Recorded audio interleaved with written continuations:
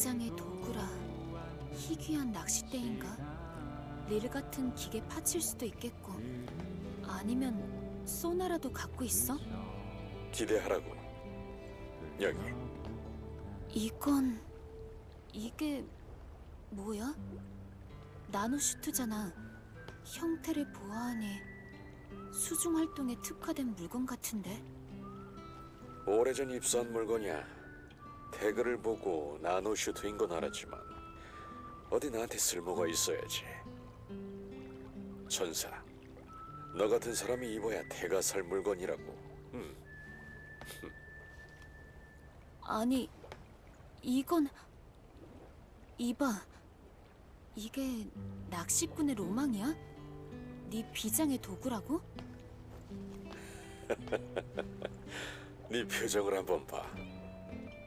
천사한테 한 방 먹였는데 그게 비장의 도구가 아니면 뭐겠어?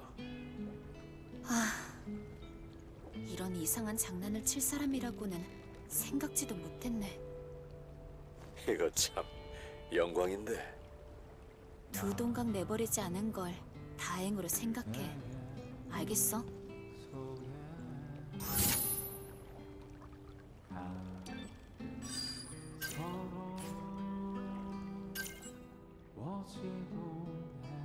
했었지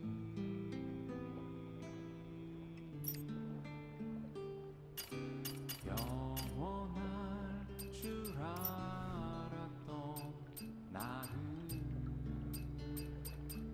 모두 할